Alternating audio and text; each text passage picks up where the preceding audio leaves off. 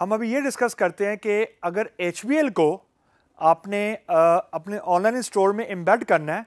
तो उसका प्रोसेस क्या है? यहाँ पे सिर्फ़ मैं एक चीज़ रिकैप करना चाहूँगा कि चाहे आप आप पेपाल यूज़ करें चाहे आप इजी पैसा यूज़ करें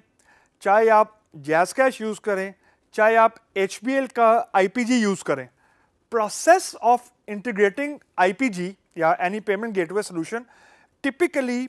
remain the same तो इसलिए मैंने जानबूझ के हर पेमेंट गेटवे के लिए अलग से इसको डिस्कस नहीं किया क्योंकि that would be you know just waste of time तो अगर फॉर एग्जांपल आपने HBL का सोल्यूशन अपने ऑनलाइन uh, स्टोर में आपने इंटीग्रेट uh, करना है तो क्योंकि अब आप डायरेक्टली बैंक से बात कर रहे हैं तो बैंक आपको आपने ऑब्वियसली HBL के अंदर सबसे पहले अपना अकाउंट खुलाना है। जिस तरह हमने इजी पैसा में देखा था आपने तामीर बैंक में खुलवाया था जैस कैश में भी आपको कोई, आपको बैंक अकाउंट देना पड़ता है। बिल्कुल वैसे ही आप एच में अकाउंट खुलवाएँगे। उसके बाद आपके पास क्रेडेंशियल्स आ जाएँगे आपके आपके जो जो भी आपने रिक्वेस्ट की होगी उसके अगेंस्ट आपके पास प्रोडक्शन के और टेस्ट के क्रेडेंशियल्स आ जाएँगे। जो चीज़ नहीं मैं आपको बताने लगा हूँ, लेकिन I want I will not get in to the more details क्योंकि उसमें थोड़ी सी टेक्निकल एक्सपर्टीज़ ज़्यादा चाहिए। वो ये होती है कि देखें हमारा एक ऑनलाइन स्टोर है फॉर एग्जांपल मेजेंटो में फॉर एग्जांपल हमने डेवलप किया या किसी भी प्रोग्रामिंग लैंग्वेज में आपने डेवलप कर लिया और एक एक पेमेंट गेटवे का एक सिस्टम है। अब दोनों ने आपस में बातचीत करनी है। इसको बिल्कुल वैसे ही समझें कि हमने आ, हमने जो पहले डिस्कस किया था एपीआई का कॉन्सेप्ट कि एक फेसबुक का सिस्टम है और एक मेरा बनाया हुआ का सॉफ्टवेयर है। अब मेरा बनाए हुए सॉफ्टवेयर ने फेसबुक पे जो डाटा पड़ा है जिस पर जिस पे मुझे ऑथराइजेशन है, यानी जो मेरा वैलिड डाटा है, मैं उसको एक्सेस करना चाहता हूँ तो मेरी एप्लीकेशन रिक्वेस्ट करती है फेसबुक को via API application programming interface और फेसबुक ये वेरीफाई करता है कि अगर मेरी एपीआई की रिक्वेस्ट वैलिड है तो मुझे वो मेरा रिक्वेस्ट किया हुआ डाटा मुझे वापस कर देता है, और मैं वो डाटा अपनी एप्लीकेशन में यूज़ कर लेता हूँ।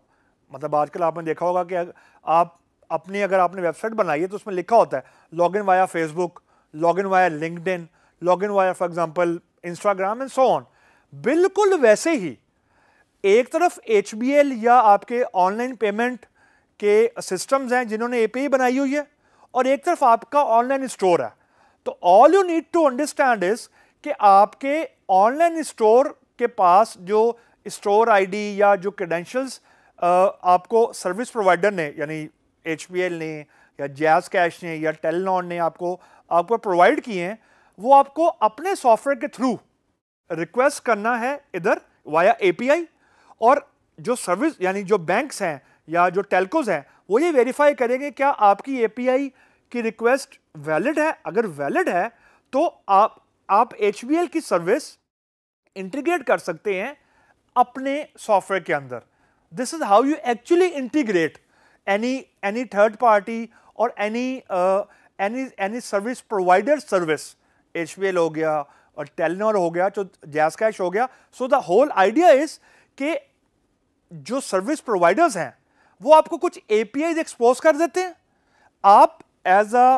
as a online store उन एपीआई को यूज़ कर लेते हैं। This is how two systems start talking to each other क्योंकि ये फाइनेंशियल सिस्टम्स हैं तो ऑब्वियस इसमें ज़रा सिक्योरिटी वेरिफिकेशन और इस तरह की चीज़ें ज़्यादा होती हैं, लेकिन at the end of the day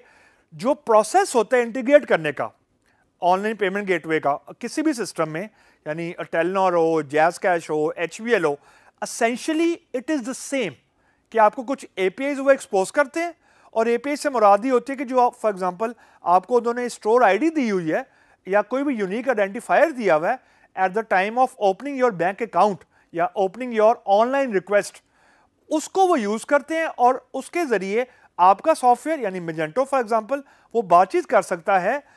bank के सॉफ्टवेयर से और टेलको के सॉफ्टवेयर से टू एक्सचेंज डेटा डेटा क्या है? पेमेंट की डिटेल्स हैं क्लाइंट की डिटेल्स है।